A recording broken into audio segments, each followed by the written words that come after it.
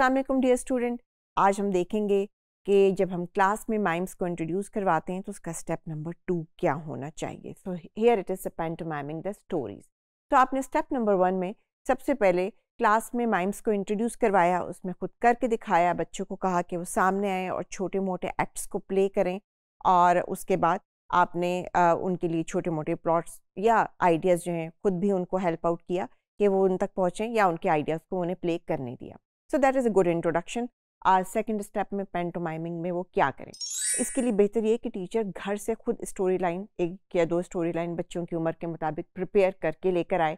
आ, उसको बहुत ही छोटे और डायरेक्ट अंदाज में बच्चों को बताए कि वो है क्या। It should be short it should be directed और वो कुछ ऐसा प्लॉट होना चाहिए कुछ ऐसा एक्शन होना चाहिए जो बच्चों की लाइफ से रिलेट होता हो ताकि बच्चे उसे ईजिली एक्सप्रेस कर सकें क्योंकि उन्होंने कुछ भी नहीं बोलना उन्होंने फ़िज़िकल जेस्टर से एक्सप्रेशन से जो है सब कुछ बताना है कि वट इज़ गोइंग ऑन जैसे कि कॉमन थीम्स में आता है कि आप अपने कपड़े कैसे चेंज कर रहे हैं स्कूल के लिए प्रिपेयर कैसे हो रहे हैं, नाश्ता कैसे कर रहे हैं सैंडविच कैसे बना रहे हैं, या आप कोई पेंटिंग कैसे कर रहे हैं these are the common themes जो बच्चे बहुत ही आसानी से पिकअप कर लेते हैं और इसमें बेहतर तरीके से एक्सप्रेशन दे सकते हैं क्रिएटिव हो सकते हैं। जब बच्चों को प्रैक्टिस हो जाती है तो हम ये थीम ज़रा कॉम्प्लिकेटेड भी कर सकते हैं और साइंस और डिफरेंट सब्जेक्ट से भी ले सकते हैं।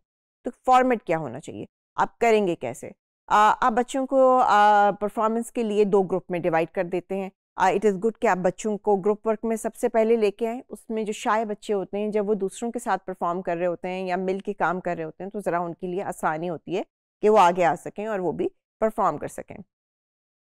आ, बच्चे जब आपकी क्लास के दो ग्रुप में डिवाइड हो जाएँगे तो एक बच्चे परफॉर्मर होगा एक ग्रुप और दूसरा ग्रुप ऑडियंस होगी।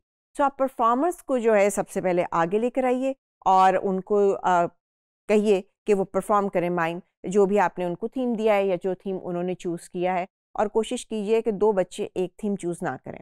ता और डिस्कस करें कि क्या क्या वैरायटी की माइम्स हैं जो वो परफॉर्म कर सकते हैं। आज जब वो ऑडियंस के सामने परफॉर्म कर लें तो ऑडियंस को कहिए कि ना यू आर अ परफॉर्मर और जितने परफॉर्मर हैं वो ऑडियंस बन गए। इस तरह क्लास में तमाम बच्चों को मौका मिलेगा कि वो ऑडियंस भी बने और वो परफॉर्म भी करें और वो एक दूसरे के काम से सीखें, जानें इम्प्रूव करें और आइडियाज़ लें। That is a collaborative learning आप प्ले आप जैसे ही ये पहली एक्टिविटी ख़त्म कर दें तो अब आता है सेशन हमारे पास ब्रेन स्ट्रॉमिंग का। कि आप बच्चों के साथ बैठें और उसको डिस्कस करें कि वॉट देवर परफॉर्मिंग और वो उसके बारे में क्या सोच रहे थे। उनको थोड़ी सी प्रैक्टिस भी करवाएँ।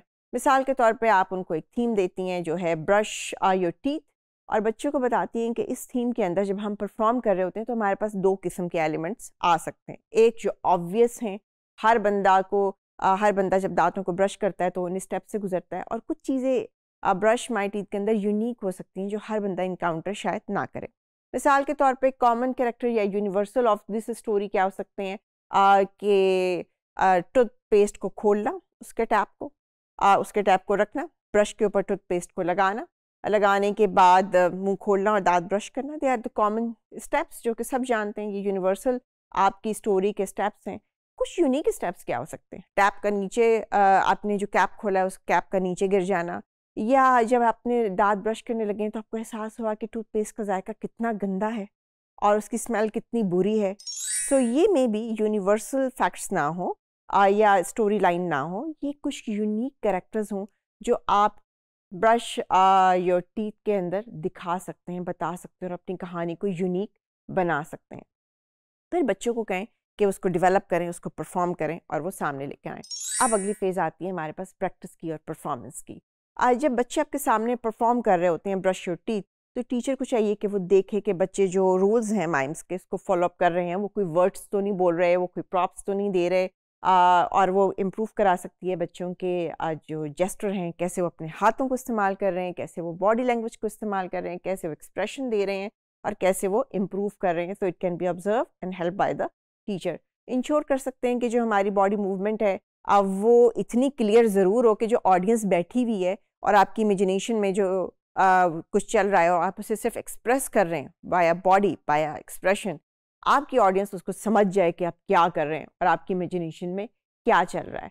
So it should be absolutely clear आपके जस्टर ऐसे हों जिसके थ्रू ऑडियंस को पता चल जाए कि एग्जैक्टली exactly आप क्या करने जा रहे हैं। आप गिर गए हैं, आपको चोट लगी है, आपकी कमर में दर्द है, आप तेज़ तेज़ भाग रहे हैं आपका सांस फूल रहा है तो audience need to understand it तो आपके जितने भी एक्सप्रेशन हैं they are actually extravagant extraordinary और वो नॉर्मल से थोड़े हाई पिच के होते हैं। टीचर ये हेल्प कर सकती है।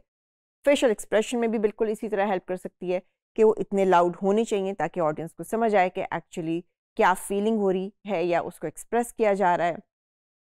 आ, जब हमारे पास स्टोरी हो जाती है बच्चे जो हैं मुख्तलिफ़ बच्चे जो हैं वो अपने अपने तरीके से अपनी स्टोरी आ, को आपके सामने एक्सप्रेस कर देते हैं तो इट इज़ गुड कि उनको स्टोरी के अंदर एक और चीज़ इंक्लूड की जाए कि कॉज और इफ़ेक्ट के एलिमेंट क्या हैं। कि जब आप ये कर रहे होते हैं तो कैसा लगता है? ताकि उससे भी ऑडियंस को समझ आती है कि एक्चुअली अगर कोई बहुत ही बुरी शक्ल बना रहा है दांत ब्रश करते हुए तो इसका मतलब है कि टूथपेस्ट का जायका बहुत ही ख़राब है। सो so, कुछ ऐसे एलिमेंट्स हों जिससे ऑडियंस को समझ आए कि what's action what is the meaning of this action ये क्या इफ़ेक्ट है किस कॉज का? और नेक्स्ट स्टेप ये है कि आप बच्चों को एक और नया टॉपिक देंगे जो टॉपिक आपने पहले नहीं दिया ताकि बच्चे उसके ऊपर अपनी थिंकिंग शुरू करें और अपना प्लॉट बनाना शुरू करते हैं।